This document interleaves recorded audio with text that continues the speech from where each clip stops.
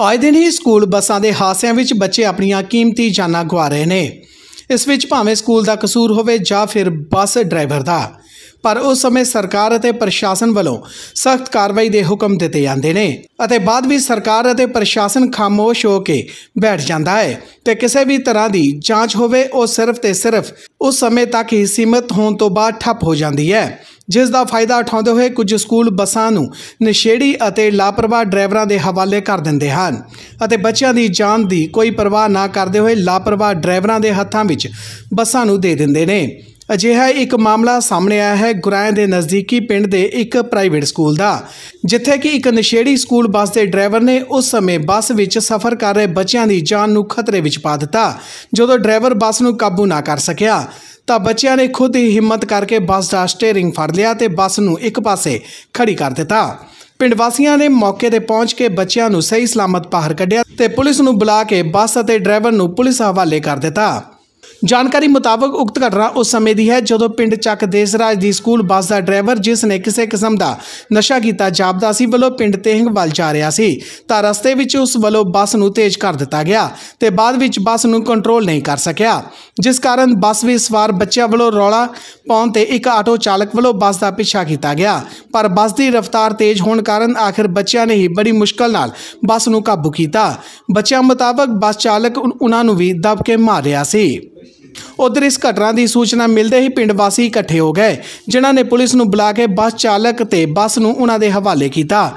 ਭਾਜੀ ਇੱਕ ਬੱਚਿਆਂ ਦਾ ਬੱਸ ਦਾ ਮਾਮਲਾ ਆ ਰਿਹਾ ਬੱਚਿਆਂ ਨੂੰ ਬੱਸ ਦੇ ਵਿੱਚ ਛੱਡ ਕੇ ਪੈਗ ਲਾ ਕੇ ਸੁੱਤਾ ਰਿਹਾ। ਕੀ ਕਹਿਣਾ ਚਾਹੁੰਦੇ ਕੀ ਨਾ ਸਰ ਹਾਂਜੀ ਇਹ ਸੂਚਨਾ ਮਿਲੀ ਸੀਗੀ ਸਾਨੂੰ ਸਵੇਰੇ ਤੇ ਜਿਹੜਾ ਆ ਸਾਡਾ ਏਐਸਏ ਵਿਜੇ ਕੁਮਾਰ ਹੈ ਉਹ ਮੌਕੇ ਤੇ ਪਹੁੰਚੇ ਸੀ। ਉਹਨਾਂ ਨੇ ਜਿਹੜਾ ਆ ਡਰਾਈਵਰ ਨੂੰ ਡਰਾਈਵਰ ਦਾ ਮੈਡੀਕਲ ਕਰਾਇਆ ਆ ਮੁਲਾਜ਼ਾ ਕਰਾ ਲਿਆ ਆ। ਜਿਹੜੀ ਬੱਸ ਆ ਉਹ ਅਸੀਂ ਜਿਹੜੀ ਬਾਉਂਡ ਕੀਤੀ ਆ। ਅਗਲੀ ਫਰਦ ਜਿਹੜੀ ਆ ਉਹ ਕਾਰਵਾਈ ਕੀਤੀ ਜਾ ਰਹੀ ਹੈ। ਸਵੇਰੇ ਜਿਹੜਾ ਉਹ ਡਰਾਈਵਰ ਨੂੰ ਜੇ ਚਲਾਨ ਜਿਹੜਾ ਦਾ ਕੋਰਟ 'ਚ ਪੇਸ਼ ਕਰਾਂਗੇ। ਪਿੰਡ ਵਾਸੀਆਂ ਨੇ ਮੰਗ ਕੀਤੀ ਕਿ ਸਕੂਲ ਬੱਸ ਨੂੰ ਪੰਚਾਇਤ ਘਰ ਵਿੱਚ ਬੰਦ ਕੀਤਾ ਜਾਵੇ ਤੇ ਦੋਸ਼ੀ ਡਰਾਈਵਰ ਖਿਲਾਫ ਸਖਤ ਤੋਂ ਸਖਤ ਕਾਰਵਾਈ ਕੀਤੀ ਜਾਵੇ। ਉਧਰ ਇਸ ਮੌਕੇ ਤੇ ਪੁਲਿਸ ਅਧਿਕਾਰੀਆਂ ਨੇ ਬੱਸ ਨੂੰ ਕਬਜ਼ੇ ਵਿੱਚ ਲੈ ਕੇ ਚਾਲਕ ਦਾ ਮੈਡੀਕਲ ਕਰਵਾਇਆ। ਇਸ ਬਾਬਤ ਜਦੋਂ ਸਕੂਲ ਦੇ ਪ੍ਰਿੰਸੀਪਲ ਹੇਮਲਤਾ ਨਾਲ ਗੱਲਬਾਤ ਕੀਤੀ ਤਾਂ ਉਹਨਾਂ ਨੇ ਕਿਹਾ ਕਿ ਡਰਾਈਵਰ ਨੇ ਨਸ਼ੇ ਦਾ ਸੇਵਨ ਕੀਤਾ ਹੋਇਆ ਸੀ। ਹੋਰ ਹੈਰਾਨੀ ਵਾਲੀ ਗੱਲ ਤਾਂ ਇਹ ਸਾਹਮਣੇ ਆਈ ਕਿ ਬੱਸ ਵਿੱਚ ਕੋਈ ਵੀ ਹੈਲਪਰ ਨਹੀਂ ਸੀ। ਵੀਰ ਜੀ, ਇਹ ਹਾਦਸਾ ਇਦਾਂ ਕਿ ਬੱਸ ਡਰਾਈਵਰ ਜਿਹੜਾ ਸੀਗਾ, ਉਹ ਸਵੇਰੇ ਜਦੋਂ ਆਪਣੇ ਘਰ ਤੋਂ ਚੱਲਿਆ, ਉਸ ਵੇਲੇ ਬਿਲਕੁਲ ਠੀਕ ਠਾਕ ਸੀ। ਉਹਨ ਕੋਈ ਵਾਈਨ ਵਗੈਰਾ ਨਹੀਂ ਸੀ ਲਈ ਹੋਈ। ਐਦਾਂ ਲੱਗ ਰਿਹਾ ਸੀ ਕਿ ਜਿੱਦਾਂ ਉਹਨਾਂ ਨਸ਼ੇ ਵਗੈਰਾ ਦੀਆਂ ਕੋਈ ਟੈਬਲੇਟ ਵਗੈਰਾ ਲਈਆਂ ਹੋਈਆਂ ਸੀ।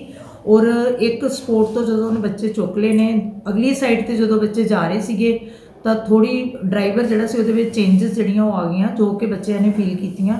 ਤੇ ਫਿਰ ਉਸ ਡਰਾਈਵਰ ਦਾ ਅੱਛਾ ਪਾਰਟ ਇਹ ਹੈ ਕਿ ਡਰਾਈਵਰ ਨੇ ਬੱਸ ਉੱਥੇ ਰੋਕ ਦਿੱਤੀ। ਉਸ ਤੋਂ ਬਾਅਦ ਉਹ ਅਨਕੌਂਸ਼ੀਅਸ ਹੋ ਗਿਆ। ਉਸ ਤੋਂ ਬਾਅਦ ਫਿਰ ਆਟੋ ਪਿੱਛੋਂ ਆ ਰਿਹਾ ਸੀਗਾ। ਉਸ ਆਟੋ ਵਾਲੇ ਨੇ ਬੱਸ ਜਿਹੜੀ ਸਾਈਡ ਤੇ ਲਗਾ ਕੇ ਬੱਚਿਆਂ ਦੇ ਪੇਰੈਂਟਸ ਨੂੰ ਇਨਫੋਰਮ ਕੀਤਾ। ਬੱਚਿਆਂ ਦੇ ਪੇਰੈਂਟਸ ਉਸ ਵੇਲੇ ਆਏ। ਉਹਨਾਂ ਨੇ ਇਨਫੋਰਮ ਕੀਤਾ ਮੈਨੂੰ ਤਾਂ ਮੈਂ ਔਨ ਦੀ ਸਪੋਰਟ ਦੇ ਉੱਤੇ ਟਰਾਂਸਪੋਰਟ ਜਿਹੜਾ ਡਿਪਾਰਟਮੈਂਟ ਦੇ ਹੈੱਡ ਸੀਗੇ ਸਾ- ਅਕਾਲ ਅਕੈਡਮੀ ਦੇ ਉਹ ਪਹੁੰਚੇ। ਨਾਲ ਉਹਨਾਂ ਦੇ ਮੈਂ ਆਪ ਖੁਦ ਗਈ। ਅਸੀਂ ਮੌਕੇ ਤੇ ਸਾਰਾ ਕੁਝ ਦੇਖਿਆ। ਡਰਾਈਵਰ ਅਨਕੌਂਸ਼ੀਅਸ ਸੀ ਤੇ ਬੱਚੇ ਬਿਲਕੁਲ ਸਹੀ ਸਲਾਮਤ ਸੀ। ਕਿਸੇ ਨੂੰ ਕੋਈ ਮਤਲਬ ਐਦਾਂ ਦਾ ਕੋਈ ਹਾਦਸੇ ਵਾਲੀ ਗੱਲ ਨਹੀਂ ਸੀ। ਸਭ ਕੁਝ ਠੀਕ ਸੀ। ਤੇ ਇਸ ਇਸ ਦੀ ਮਤਲਬ ਕਿ ਇਹਦੇ ਵਿੱਚ ਸਕੂਲ ਦਾ ਦੇਖੋ ਇੰਨਾ ਸਕੂਲ ਦਾ ਤੇ ਇੰਨਾ ਕਸੂਰ ਨਹੀਂ ਹੈਗਾ ਕਿਉਂਕਿ ਜਿਹੜੀ ਬੱਸ ਸੀ ਉਹ ਕੰਟਰੈਕਟ ਬੇਸ ਤੇ ਸੀਗੀ ਔਰ ਮੇਨ ਗੱਲ ਇਹ ਕਿ ਡਰਾਈਵਰ ਜਿਹੜਾ ਸੀ ਉਹ ਨਵਾਂ ਸੀ, ਅਜੇ ਉਹਨੂੰ ਆਇਆ ਨੂੰ 4-5 ਦਿਨ ਹੋਏ ਸੀ ਡਰਾਈਵਰ ਨੂੰ। ਫਿਰ ਵੀ ਮੈਂ ਇਸ ਚੀਜ਼ ਦੀ ਮੋਰਲ ਰਿਸਪੌਂਸਿਬਿਲਟੀ ਜਿਹੜੀ ਉਹ ਮੈਂ ਆਪਣੀ ਸਮਝਦੀ ਹਾਂ। ਕਿ ਇਹ ਮੇਰੀ ਇੱਕ ਰਿਸਪੌਂਸਿਬਿਲਟੀ ਹੈ ਕਿ ਜਿਹੜਾ ਸਕੂਲ ਦਾ ਟਰਾਂਸਪੋਰਟ ਸਿਸਟਮ ਹੈ ਉਹ ਸਹੀ ਸਲਾਮਤ ਬੱਚਿਆਂ ਦੀ ਸੇਫਟੀ ਵੈਸੇ ਇਹ ਪਹਿਲੀ ਘਟਨਾ ਹੈ 7 ਸਾਲ ਹੋ ਗਏ ਮੈਨੂੰ ਇੱਥੇ। ਐਦਾਂ ਦਾ ਕਦੀ ਕੋਈ ਹਾਦਸਾ ਨਹੀਂ ਵਾਪਰਿਆ। ਉਹ ਹਾਂਜੀ ਉਹਦੇ ਵਿੱਚ ਹੈਲਪਰ ਨਹੀਂ ਸੀਗਾ ਜੀ। ਬੱਚੇ ਕਿੰਨੇ ਸੀਗੇ ਜੀ ਉਹਦੇ ਵਿੱਚ? ਬੱਚੇ ਉਹਦੇ ਵਿੱਚ ਚਾ- ਚਾਰ ਪੰਜ ਬੱਚੇ ਸੀਗੇ ਜੀ। ਮੈਮ ਪੁਲਿਸ ਵਾਲੇ ਮੌਕੇ ਤੇ ਪਹੁੰਚੇ ਸੀ ਹਾਂਜੀ ਹਾਂਜੀ ਅਕੈਡਮੀ ਵੱਲੋਂ ਕੀ ਕਾਰਵਾਈ ਮੈਮ?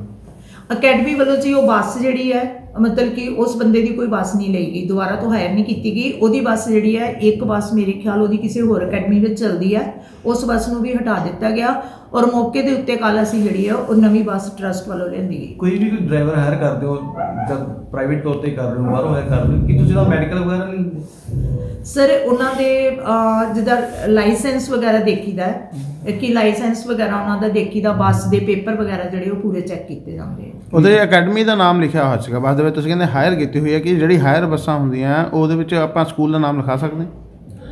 ਹਾਂਜੀ ਕਿਉਂਕਿ ਉਹ ਕੰਟਰੈਕਟ ਬੇਸ ਤੇ ਹੁੰਦੀਆਂ ਬੱਸਾਂ ਉਹਨਾਂ ਨੂੰ ਬਾਹਰ ਲਿਖਣਾ ਪੈਂਦਾ ਹੈ ਕਿੰਨੇ। ਟਾਈਮ ਤੋਂ ਉਹ ਬੱਸ ਆਪਣੇ ਨਾਲ ਚੱਲਦੀ ਵੀ ਸਕੂਲ ਨਾਲ ਉਹ ਦੋ ਅਹ, ਤਿੰਨ ਸਾਲ ਹੋ ਗਏ ਜੀ ਉਸ ਬੱਸ ਨੂੰ ਚੱਲ ਰਹੀ ਸਕੂਲ ਵਿੱਚ। ਤੇ ਜੇ ਇਹਦੇ ਵਿੱਚ ਕਿਹਦੀ ਲਾਪਰਵਾਹੀ ਕਿਹਦੀ ਮੰਨਦੇ ਹੈਗੇ? ਜੇ ਕੋਈ ਹਾਦਸਾ ਵੱਡਾ ਵਾਪਰ ਜਾਂਦਾ ਕੋਈ ਜਾਨੀ ਨੁਕਸਾਨ ਇਹਦੇ? ਵਿੱਚ ਲਾਪਰਵਾਹੀ ਸੀ ਦੇਖੋ ਜਿਹੜਾ ਬੱਸ ਦਾ ਮਾਲਕ ਸੀਗਾ ਨਾ ਉਹਦੇ ਮਤਲਬ ਕਿ ਡਰਾਈਵਰ ਰੱਖਣ ਤੋਂ ਪਹਿਲਾਂ ਉਹਨੇ ਅੱਛੀ ਤਰ੍ਹਾਂ ਦੇਖਿਆ ਇਹਦੇ ਵਿੱਚ ਉਹਦੀ ਲਾਪਰਵਾਹੀ ਵੀ ਹੈ। ਹੂੰ। ਤੇ ਬਾਕੀ ਮੈਂ ਜਿੱਦਾਂ ਪਹਿਲਾਂ ਕਹਿ ਚੁੱਕੀ ਹਾਂ ਕਿ ਮੋਰਲ ਰਿਸਪੌਂਸਿਬਿਲਟੀ ਤਾਂ ਪ੍ਰਿੰਸੀਪਲ ਦੀ ਹੈ। ਹੂੰ। ਦੈਟਸ ਆਲ ਜੀ। Thank you thank you